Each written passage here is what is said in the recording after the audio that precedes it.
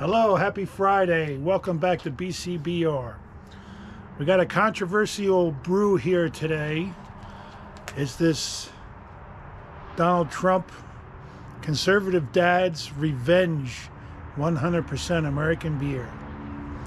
I did a short on this one a couple days ago and I got I lost one of my subscribers, a person that was often made nice comments on my videos.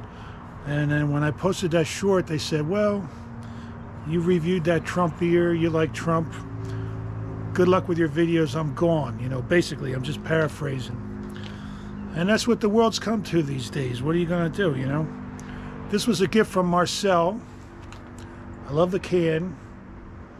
And I might as well just come out of the closet and admit it. I like Trump. I'm sorry. Things were better when Trump was president.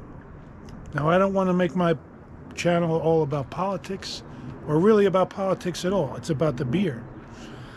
but when you have a, one of these, what are you going to do? You can't not talk about it. That's like it's a it's a novelty beer.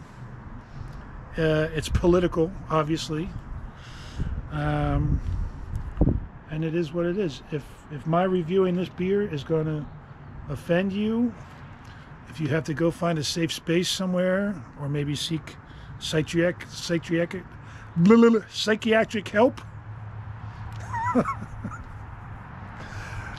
then don't watch okay?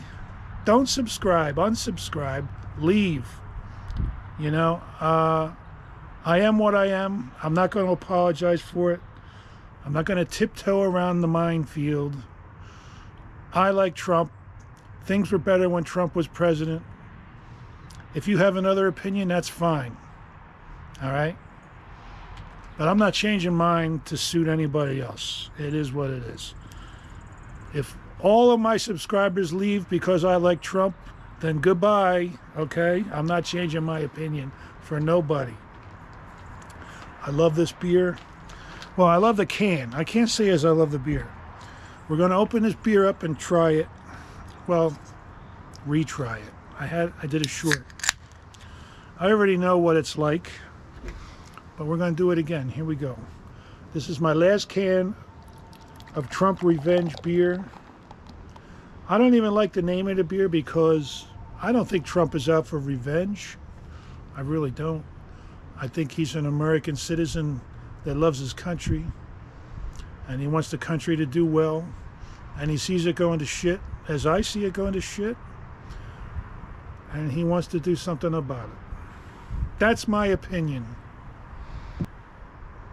All right?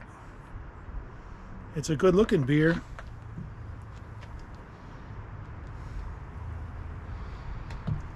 And another person made a comment on my shirt that said, Does it taste like treason? What does treason taste like? And no, it doesn't taste like treason. If it tasted like treason, if that was a thing, they would have to put Joe Biden's face on the can. He's the guy that opened up the border and let 10 million freaking people walk in. He's the one that ruined the economy. All right, let's check the beer out. That's enough politics.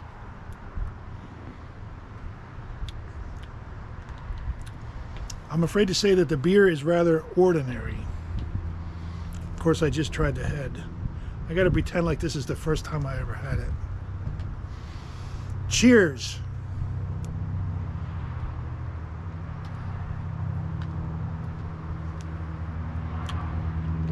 Ah, it's refreshing. It's nice, but it is rather ordinary. And I know Trump, I don't think Trump had anything to do with the creation of this beer because Trump doesn't drink. He doesn't drink alcohol of any kind. If I have a problem with Trump, that might be the one thing. I'd like to have a beer with him, to be honest with you. Donald Trump, if you ever see this video, I invite you to my house and I will buy you a beer. But I know you don't want to come here. And I know that you don't want a beer, but it's a nice wish.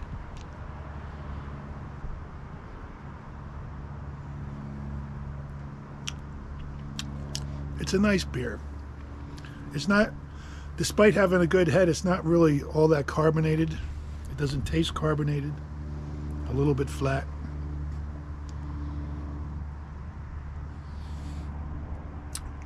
You know, I was driving my school bus today.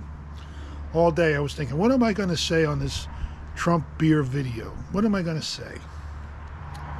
Well, I've said it all. That's enough. Uh, let's see. My paper blew on the ground.